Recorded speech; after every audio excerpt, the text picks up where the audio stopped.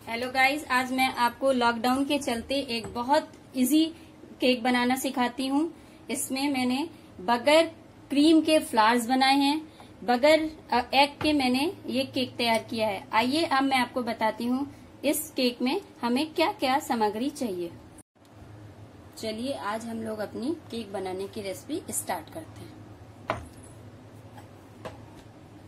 उसको बनाने के लिए हमें एक कटोरी मैदा आधा कटोरी चीनी, आधा कटोरी दही चाहिए और आधा कप से थोड़ा सा कम रिफाइंड चाहिए।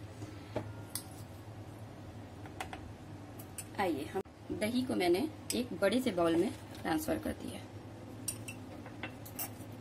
उसमें हम चीनी डाल देंगे। अगर आप थोड़ा मीठा खाना चाहें तो आप चीनी बढ़ा सकते हैं। उसके बाद इसको थोड़ा ऐसे मैश कर लेते हैं। और इसमें अब हम तेल डाल देंगे। ये तीनों चीज़ें हम मिक्स कर लेते हैं। आप चाहिए तो बटर भी डाल सकती हैं। देखिए, मैंने तीनों चीज़ों को अच्छे से मिक्स कर लिया है। ये देखिए, तीनों चीज़ें अच्छे से मिक्स हो गई हैं। अब हम इसमें मैदा डालते हैं। थोड़ा थोड़ा करके मैदा डालिएगा।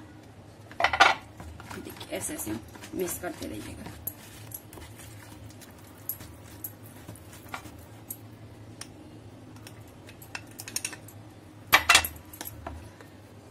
देखिए, ये थोड़ा सा हमारा बैटन गाढ़ा है तो हम इसमें थोड़ा सा पानी डालेंगे। आप दूध भी डाल सकती हैं, लेकिन मैंने पानी का यूज़ किया है। फिर अब इसको पूरा मिक्स कर देंगे। ये तीनों चीज़ें मैंने मिला ली हैं।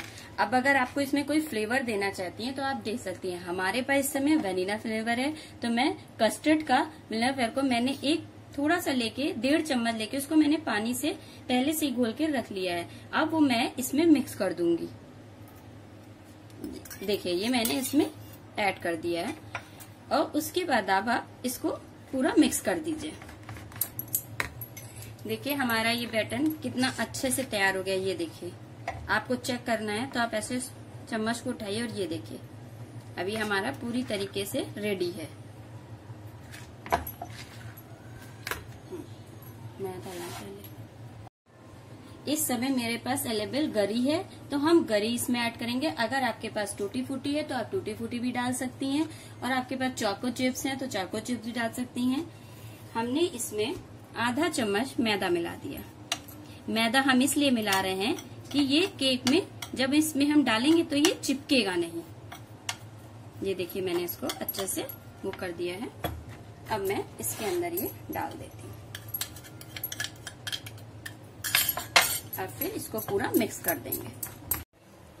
गाइस मैंने अपनी कढ़ाई को गैस पे चढ़ा के इसको थोड़ा सा प्री हीट कर लेते हैं। तब तक हम अपना जो मिक्सर मैंने बनाया है, वो एक बाउल में हम उसको शिफ्ट करते हैं।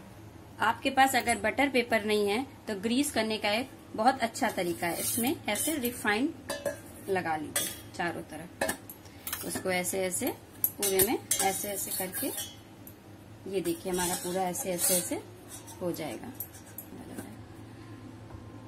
गाइस अब हम इसको थोड़ा सा मैदे से स्प्रिंकल कर देंगे, जिससे वो चिपकेगा नहीं। हमारी कढ़ाई देखिए हमारा बैटन तैयार मेरी कढ़ाई अभी हीट हो चुकी है। अब हम इसमें, जो मैंने एक छोटा चम्मच मीठा सोडा निकाला था, वो इसमें हम डाल देंगे। और मैंने आप बताते हैं, बताया था इनो। इसमें एक पैकेट इनो पूरा पड़ जाएगा। इसमें थोड़ा सा एक चम्मच पानी डाल दीजिएगा। उसके बाद इसको मैश मिक्स कर दीजिए।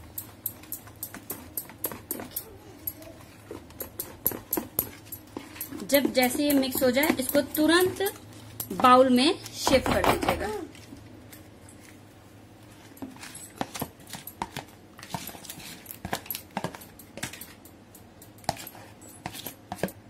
देखिए, मैंने इसको शिफ्ट कर दिया। अब इसको हल्के से ऐसे टैप करके अब इसको मैं रख दूँगी। ये देखिए। और इसको 30 से 40 मिनट के लिए इसको मैं पैक कर देती हूँ। जब तक हमारा केक बन रहा है, आइए हम उसको ऊपर से डेकोरेट करने के लिए आपको हम फ्लावर्स बनाना बताते हैं। बहुत इजी है। आइए हम बताते हैं। हमने एक पैन और विदाउट क्रीम के हम आज आपको फ्लावर्स बनाना सिखाते हैं। ये मैंने एक पैन ले लिया है। पैन में मैंने एक, दो ये तीन तीन चम्मच मैदा ले लिया है। अब हम इसको स्लो फ्लेम पे थोड़ा थोड़ा भून लेंगे, क्योंकि मैदे का कच्चा पना चला जाए। जब ये भून जाएगा, तब हम इसमें थोड़ी सी चीनी डालेंगे और दूध। लेकिन अभी इसको हम भून लेते हैं पहले। देखिए हमारा जो मैंने मैदा डाला था वो हल्का हल्का सा ब्राउन हो गया है। अब हम इसमें आधा चम्मच चीनी डालेंगे। आप चाहिए तो मिल्क पाउडर भी डाल सकती हैं, लेकिन हम चीनी डाल रहे हैं। चीनी बहुत थोड़ी सी पड़ेगी। उसके बाद इसको हम मिक्स कर लें ऐसे। देखिए मैंने इसमें चीनी को मिक्स कर लिया है। अब हमने आधा कप दूध लिया है, लेकिन एकदम से दूध नहीं डालिएगा थोड़ा थोड़ा करके दूध पड़ेगा, क्योंकि हमें इसका डो तैयार करना है। देखिए हमारा ये कितना अच्छा डो तैयार हो गया इसमें धीमे धीमे आपने दूध डालते रहेंगे तो ये इसी तरह का एक डो तैयार हो जाएगा। हमने उससे जो डो तैयार किया था, हमने तीन जगह डो अलग अलग तरीके से निकाल लिया है। अब हम इसमें थोड़ा थोड़ा सा फ़ूड कलर डालेंगे। हमारे पास सूखा पाउडर में है तो हम सूखे पाउडर का डाल रहे हैं। बहुत थोड़ा सा पड़ता है। ये ये देखिए। ये रेड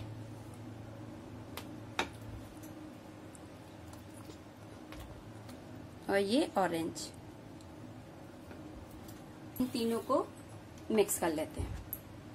देखिए कितना अच्छा कलर आया हमारा पूरा ये। फ्लावर्स का डो तैयार हो गया है। आपके पास जो कलर हो, वो डाले। प्रेजेंट टाइम में मेरे पास यही तीन कलर हैं, ग्रीन, ऑरेंज और येलो। अब मैं इसका आपका फ्लावर बनाना सिखाती हूँ। हमने एक जो डो था, उसको छोटी सी दो लोइयों में कर लिया है। बहुत आराम से बिल जाएगा, आपको दिक्कत नहीं होगी। ये देखिए, कितना अच्छे से लोई बन रही है इसकी। और एक कोई सी भी बॉल लेके उसको काट दीजिए ऐसे। डो तैयार जो मैंने डो तैयार किया था, उससे मैंने, आपको मैंने एक साइज़ दिखाया था, उससे मैंने तीनों के ऐसे ऐसे सर्कल काट लिए हैं और ऐसी एक एक स्ट्रिप भी काट ली है जो बीच में फ्लावर्स के लगाने के काम आएगी। अब आइए हम आपको फ्लावर्स बनाना सिखाते हैं। आइए अब हम आपको फ्लावर्स बनाना स्टार्ट करते हैं। बहुत इजी है फ्लावर्स बनाना। एक एक ऐसे करके करके तीनों जो हमने सर्किल बनाए हैं, ऐसे रख लेना है। उसके बाद हल्के हल्के हाथों से ऐसे फोल्ड करते रहिएगा। रहिएगा। ये देखिए ये देखिए, हमारा फ्लावर तैयार हो गया है। ठीक है, अब इसको हम बीच से कट कर देंगे।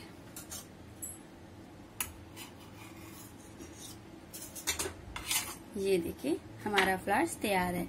अब हम इसी तरह दोनों के और फ्लावर्स बना लेते हैं। देखिए, हमारे सारे फ्लावर्स तैयार हो गए। अब हमने जो स्ट्रिप ली थी, आइए हम बताते हैं उसको कैसे लगानी है। एक फ्लावर्स हमने लिया और फ्लावर्स को हल्का सा ऐसे टिप करते हुए, ये देखिए। देखिए, कितना अच्छा सा फ्लावर्स आया है। अब इसी तरीके से हम सारे फ्लावर्स को कर लेंगे। देखिए, हमारे तीनों फ्लावर्स ये तैयार हो गए तीन में मैंने स्ट्रिप काटी थी, केवल तीन में ही लगाना है। तीन हमको ऐसे ही लगाने हैं छोटे छोटे तीन में, और ये तीन में लगा देंगे। इसको हम ऊपर साइड में और इसको हम नीचे में लगाएँगे। वो हम आपको अभी दिखाते हैं। आइए देखिए, हमारा केक पक गया है। आइए हम उसको चेक करते हैं। चेक करने का तरीका बहुत आसान है। एक ट्यूब पेड़ लीजिए, उसको बीच में ऐसे डालिए। अगर बिल्कुल क्लीन निकल आती है, देखिए पूरी क्लीन है, हमारा केक का पक गया है। अब हम गैस को बंद कर देते हैं। आइए अब हम इसको निकाल लेते हैं और जब तक ये ठंडा होगा, इसमें हमें और क्या डेकोरेट करना है, वो आपको आगे बताते हैं। आइए हम बताते हैं कि हमने इसमें अब क्या लिया है। थोड़ी सी कटी हुई गरी ली है, लच्छे वाली। तो एक पैकेट जेम्स लिया है और एक बीस रुपये वाली डेयरी मिल्क लिया है। डेयरी मिल्क को हम मेल्ट कर लेंगे। एक बाउल में मेल्ट कर लेंगे। उसके बाद अब हम इसको कैसे डेकोरेट करना है, आपको बताते हैं। देखिए, हमारा केक ठंडा हो गया। ये देखिए, कितना स्पंची बना है। अब हम इसको एक प्लेट में निकाल लेते हैं। देखिए, हमारा केक कितना स्पंची बना है। आप ये देखिए, कितना स्पंची है। अब हम इसको डेकोरेट करते हैं। हमारी चॉकलेट भी मेल्ट हो गई है। देखिए, हमने चॉकलेट को मेल्ट कर लिया है। अब हम आपको बताते हैं कि इसको कैसे डेकोरेट करना है। डेकोरेट करने के लिए इसमें दो बर्नर बिस्कुट का भी यूज़ किया है। इसको कैसे डेकोरेट करना है, मैं बताऊँगी। अब आइए, हम इसको डेकोरेट करना स्टार्ट करते हैं। जो मेरी चॉकलेट मेल्ट हुई थी, अब हम उसको इस केक के ऊपर से डालते हैं। देखिए, मैंने चॉकलेट पूरे में लगा दी है। अब इसमें हम हाफ़ साइड में गरी का लच्छा लगाएँगे।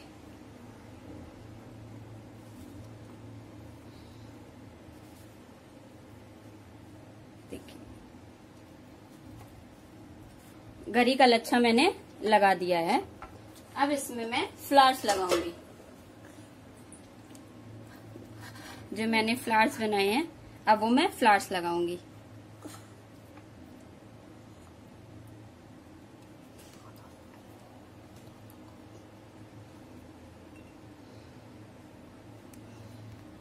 सारे फ्लावर्स इसको लगा दिए हैं। अब जो मैंने जेम्स लिए थे, वो मैं इसको डेकोरेट करती हूँ।